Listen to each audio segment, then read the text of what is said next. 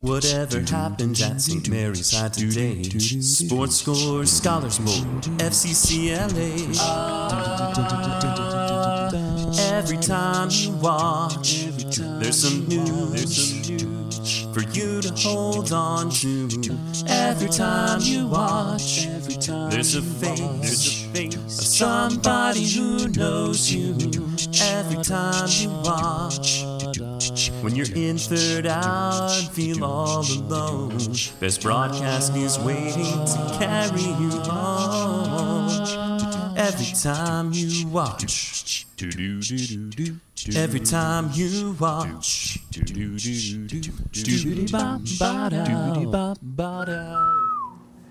Morning St. Mary's High School, I'm Nick Grabe.